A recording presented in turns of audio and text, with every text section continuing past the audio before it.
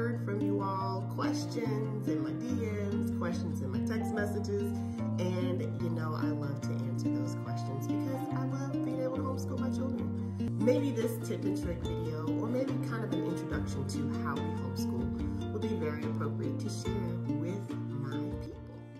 So I like LIFEPAC by AOP because it allows me to successfully um, navigate homeschooling different grade levels. And so while my oldest is finishing or rounding out finishing middle school, I'm also able to navigate my middle child who is kind of just breaking into middle school while also being able to support my youngest who is uh, filling out her elementary school uh, very well.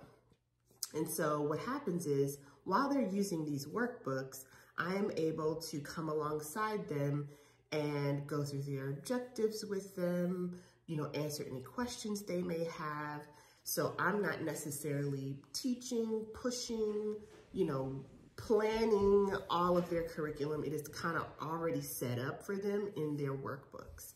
So this allows me to be able to facilitate teaching across grade levels.